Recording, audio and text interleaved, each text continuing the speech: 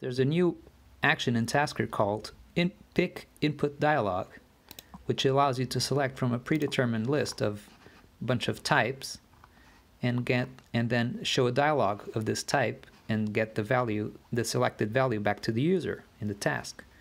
So for example, let's say you want to pick a time in your task. You get the time. And then this dialog shows up. You pick the time you want and the input uh, the input variable will contain the time.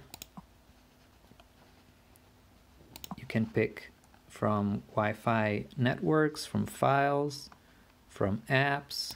Let's pick an app. If I pick an app, the package name will be in this variable. And any of these types will be selectable. All of these types are the same types that appear in the new task variables section. So all of these types, whenever I add a new type here, that same type will appear in this action in this section in the in this predetermined list. So now you can select all of these types in your tasks and expect me to add much more in the future. Hope you enjoyed it. Bye.